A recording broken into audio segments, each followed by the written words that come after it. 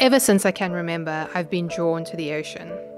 It's something inside of me that calls to the water out there.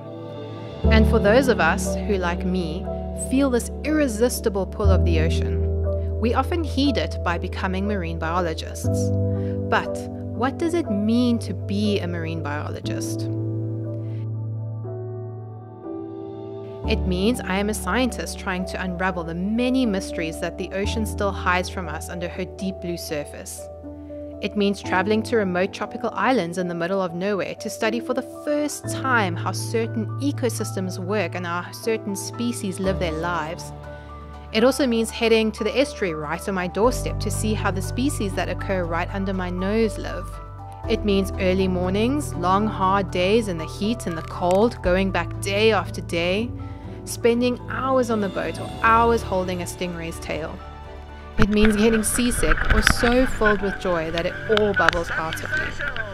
It means hours diving or hours trudging across sand flats.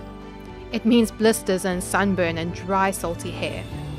It means performing surgery on stingrays or counting coral reefs.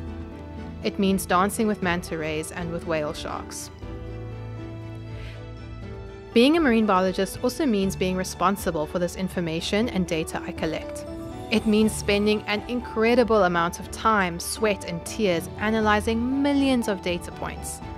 It means telling a story from those data points and sharing my passion and discoveries, encouraging citizen scientists, average people who find joy walking on the beach, to help us collect information on this planet we all share.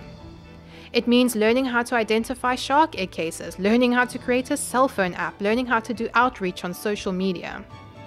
It means beach walks with families, hunting for shark egg cases, lessons with primary school children, or online identification courses. It means traveling to many different countries for many different conferences to give and listen to many different talks.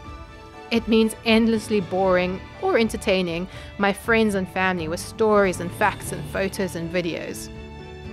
It means learning how to film and edit videos and post them on YouTube.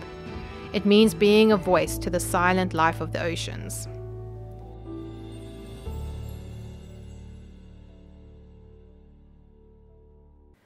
For me, being a marine biologist has meant becoming a champion to a group of animals that has been neglected by scientific pursuits in the past.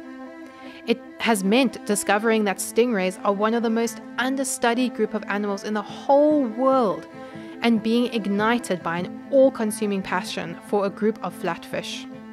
It means collecting and sifting through stingray vomit, tracking them across hundreds of kilometers, or spending every week trying to find and swim with them to unravel their behavior. It means following my own solitary journey and being the only scientist in my country dedicated to the animals who oh also need a champion. It means breaking my heart when nets, rods, and hooks catch, kill, and maim the animals who hold my heart. It means getting critical habitats declared as marine protected areas to try and reverse this death and decline. It means a never ending fight.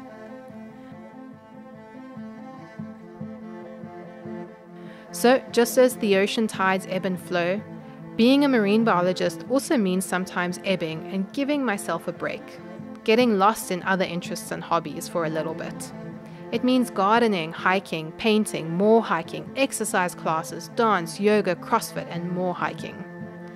But it means that right in my core, in my heart center, I know my whole life will be dedicated to understanding and protecting the color, the diversity, the strangeness, the hugeness and vastness, the intelligence, the culture, the uniqueness that is life in our oceans.